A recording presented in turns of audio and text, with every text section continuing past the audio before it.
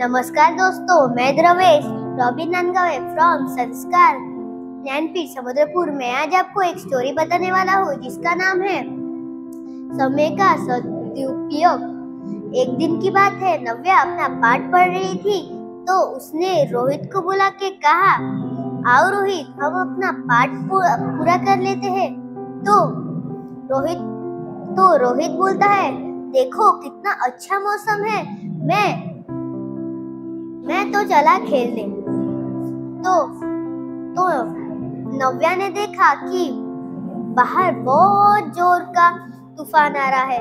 तो उसने कहा तो उसने रोहित को आवाज़ देके कहा, आओ रोहित, हम अपना पाठ पूरा कर लेते हैं, क्योंकि कभी कभी तूफ़ान में बिजली भी जाती है।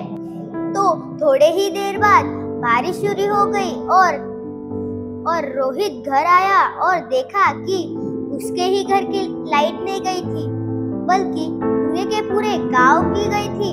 तो उस तो तो वो रोते हुए कहा, मेरा तो कल एग्ज़ाम है, मैं कल एग्ज़ाम में कैसे, कल मैं अब एग्ज़ाम कैसे दूँगा?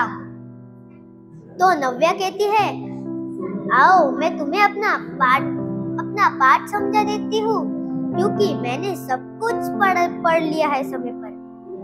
तो दोस्तों मोरल ऑफ़ द स्टोरी कभी भी आज का काम कल पर नहीं डालना चाहिए।